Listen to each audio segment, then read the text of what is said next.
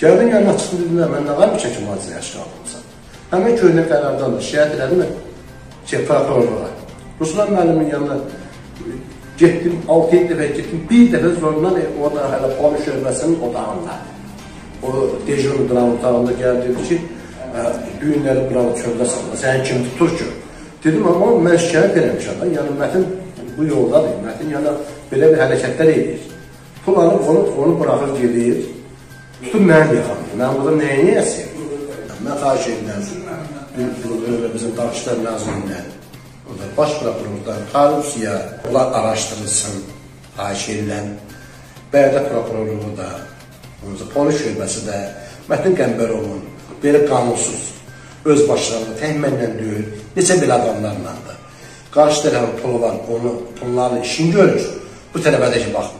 Kanalımıza müraciət edən Talih Həmzəyev bildirirdi ki, həm yerlisi Faiq Abbasov məhkəmə prosesi zamanı ona kömək edəcəyini bildirərək ondan 10 min manat pul alıb. Daha sonra isə Talih Həmzəyev Faiq Abbasovun ona kömək edə bilmədiyi üçün pulunu geri istəyib. Bu zaman isə Talih Həmzəyevin özünə cinayət işi açılıb. Məsələ ilə bağlı Daxili İşlər Nazirliyinin mətbuat xidmətinin Bərdə regional qrupundan kanalımıza məlumat daxil olub. Məlumatda deyilir ki, Bərdə rayon sakini Faiq Abbasov rayon prokurorluğuna müraciət edərək digər rayon sakini Talih Həmzəyevin iş görmək adı ilə ondan 10 min manat pul alaraq dələduzluq etdiyini bildirib. Şikayətlə əlaqədar Cinayət Məcəlləsinin 178.2.4-cü dələduzluq xeyli miqdarda ziyan vurmaqla törədildikdə maddəsi ilə cinayət işi başlanılıb. Rayon polis şöbəsində araşdırmalara başlanılıb. İstintaq prosesində Faiq Abbasov zərər çəkmiş şəxs qismində tanınaraq dindirilib. Talih Həmzəyev təqsirləndirilən şəxs qismində